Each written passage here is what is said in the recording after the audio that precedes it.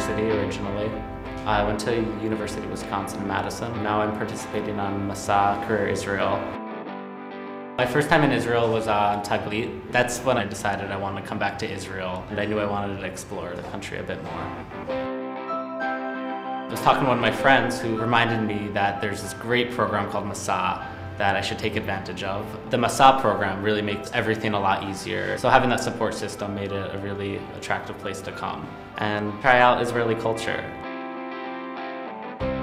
Genome Compiler is a software company that specializes in biotechnology software.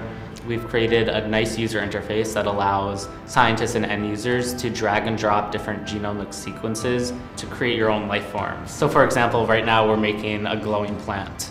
We have a plant genome and we're taking the gene from a firefly that makes it glow and inserting it into the plant. So that way the plant will make this protein that glows and the plant will then glow. It's really cool stuff. And my role here is on the marketing team. They asked me, what do I want to get out of this? And I told them that I just want to see how a startup is run, like what you need to do to build a successful company. So they were like, okay, we'll rotate you around and, and give you lots of different things to do.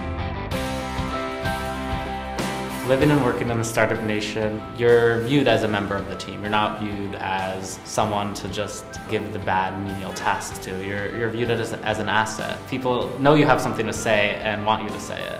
There are about 15 people here, and I think it's really a fun and vibrant environment to work in. And everyone here is really invested in the company. And for me to be that connected to your work is really important and was something I didn't understand before.